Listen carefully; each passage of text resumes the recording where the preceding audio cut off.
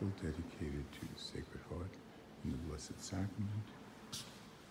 Very simple side altar made from a sarcophagus.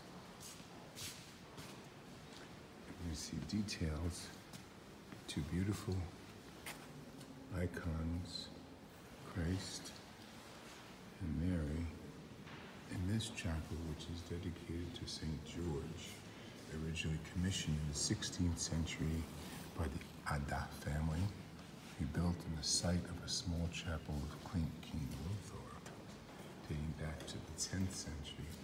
This chapel was restored in 1997 its frescoes are by Bernardino Lanino.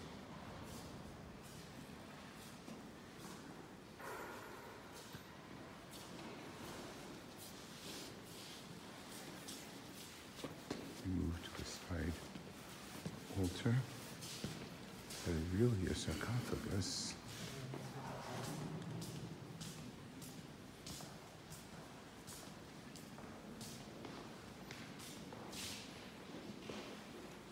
very simply placed. Now we're going to go downstairs,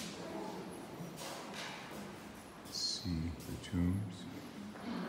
This altar was dedicated to John Cardinal. And now we're going to the tombs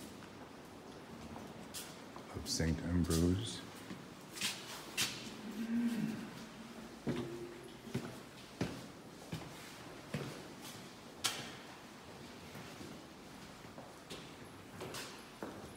in this crypt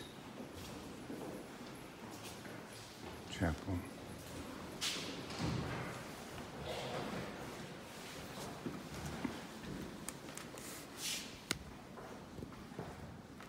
You see the body of Saint Ambrose another saint, Bishop